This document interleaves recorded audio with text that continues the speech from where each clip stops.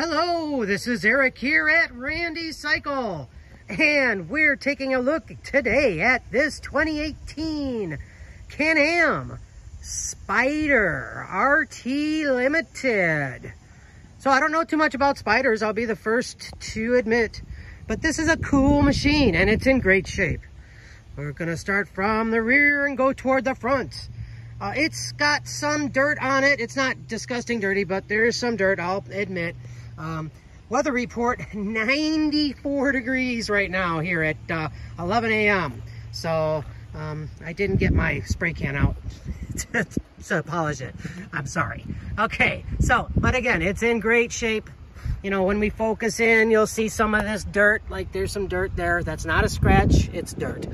Um, some of the cool features I've seen on this machine by just riding it a little tiny bit here is um, got a lot of creature comforts, got heated seats, heated grips, cruise control, it's got a power windshield.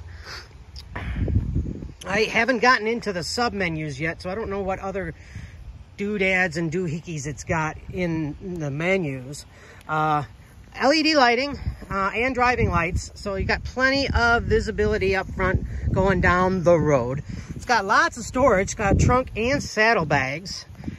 Tires are in good condition. Uh, they look very nice to me. Uh, and uh, obviously they're more of an automotive style tire than a motorcycle tire. Uh, it's got a little uh, accoutrements here. We got a cup holder and a RAM mount for your phone. Uh, looks like on the backside might be another cup holder there. It's kind of weird looking.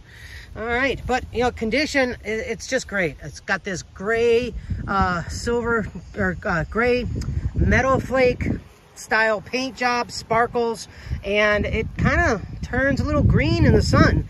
Uh, so just depending on what light you're getting, it'll appear gray, it'll appear like maybe a, a slight green tint to it. I mean, that's just kind of a cool feature on that paint.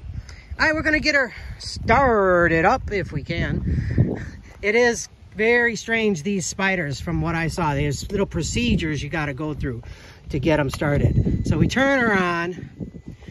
We've got a turn off the parking brake. Oh, what? There, it, well, before you even do that, it comes up here. You got to read the safety card. There's a little card here with uh, safety uh, uh, uh, instructions. Uh, basic motorcycle stuff, you know. Don't you know? Don't ride crazy. All right. So, but first to clear that, you have to hit the mode switch. That clears that. Then you got to take the parking brake off. That does that. Then you can start it here with the starter.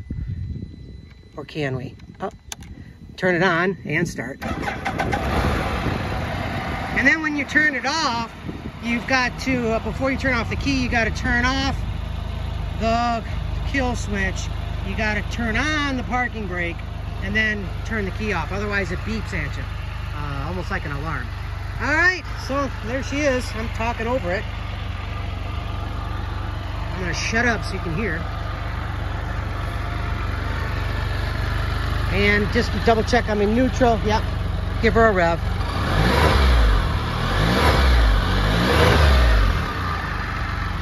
Yeah, it's got that kind of, I don't know, tractor-like sound, I guess, for lack of a better word. But it uh, drives real smooth. Oh, and it's got power steering, so it's very easy to turn. All right, I think that's gonna conclude our 94 degree video here